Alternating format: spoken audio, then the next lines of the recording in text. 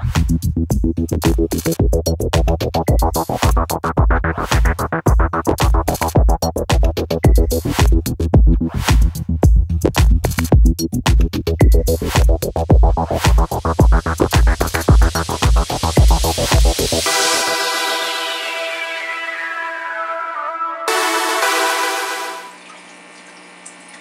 YouTube, Brian here again. Just wanted to do a quick video and show you what I uh, woke up to this morning.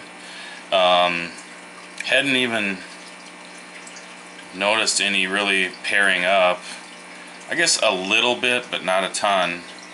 And uh, all of a sudden I noticed when I was feeding this morning that uh, that these two red devils here were um, keeping everybody out of the pot. So I did a little closer looking. Oh, let me turn the flashlight on here. You can't really see without it. You can see back there, I got a ton of eggs. So, they have paired off and spawned. So that's pretty cool. So far they seem to be taking good care of it. It must have happened overnight because um, nothing was uh, nothing was in there last night when I first, when I last looked at them. So but uh, yeah, pretty excited about it. Um, did not expect it this early. Um, these are two of the five Red Devils I got from Sean Armentrout here um, about a month ago or so. There's two more and the other one back there. Um,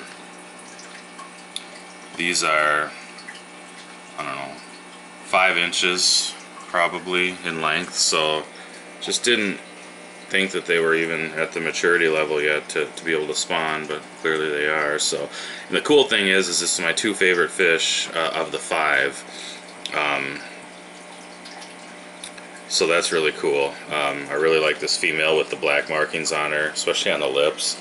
And then this guy's just a solid orange beast. I mean, he's already got uh, the makings of a nuchal hump started.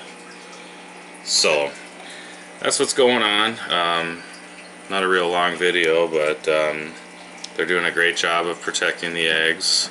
There's a ton of them back there too. I'll just shine the light in there one more time so you can see. Pretty good for a first spawn, I think. So we'll see if it takes. Um, obviously, I don't have my hopes up with some of the other unsuccessful first spawns I've had, but um, pretty exciting.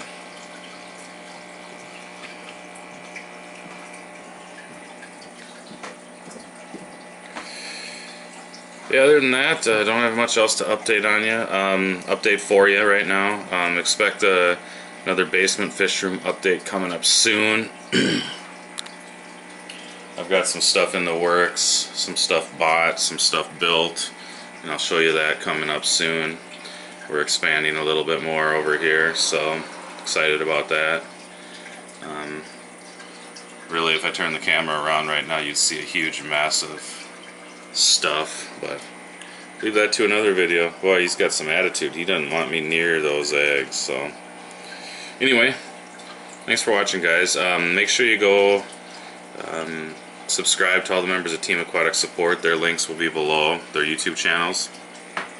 Head on over to Aquatic Support Community, join that group, um, and make sure you go like the Aquatic Support Systems Facebook page as well. So, thanks for watching, guys. I'll talk to you later.